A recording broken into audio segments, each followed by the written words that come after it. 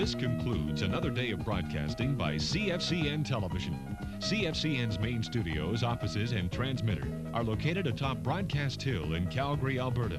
We are transmitting on Channel 4 with an effective radiated power of 100,000 watts visual and 10,000 watts aural. Calgary area cable companies carry our signal on Cable Channel 5. Today's programs have also been broadcast throughout southern Alberta and portions of British Columbia. In Oyen, you are watching CFCN on Channel 2. In Field, on Channel 4. In Pisano, Invermere, and Lake Louise on Channel 6. In Parsons on Channel 8. In Drumheller on Channel 10. In Hand Hills on Channel 12. And in Sundre, on Channel 13.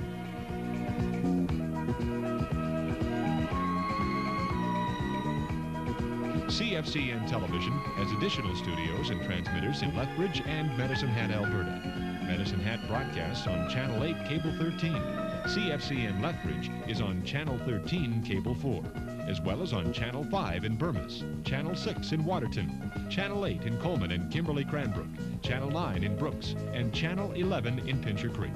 We hope you have enjoyed today's programs and will rejoin us when we again sign on in just a few hours.